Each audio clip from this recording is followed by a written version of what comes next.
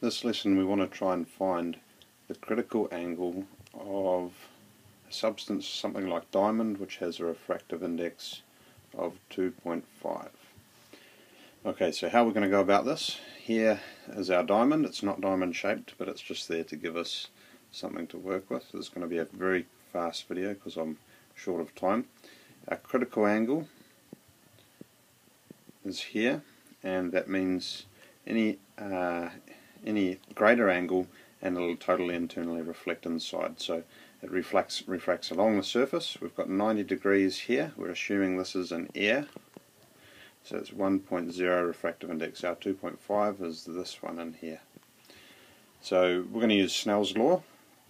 Um, we use n1 sine theta 1 equals n2 sine theta 2 and we've just got to substitute in uh, our values.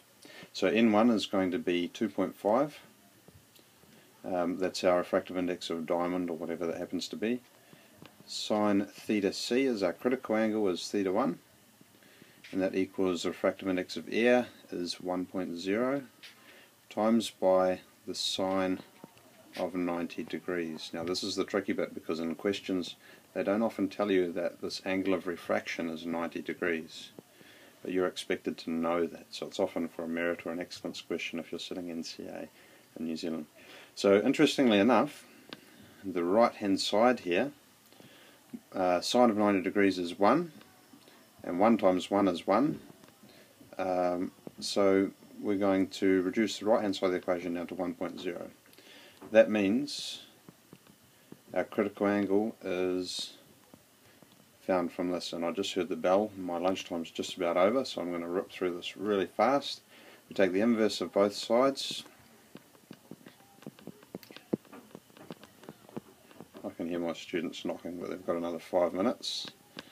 Um, so let's do this on the calculator and we get 23 uh, 0.58 degrees. Um, okay, now the higher the refractive index for a material, the more refraction you get, and that generally means the more total internal reflection you get, and that generally means you get a nicer array of colours being uh, seen uh, that's why diamond is so uh, precious because it's rare to find material that's that optically dense. How would we round this? We've got two significant figures for both of our refractive indexes so this would round to 24 degrees to 2SF and that's uh, how to find the critical angle.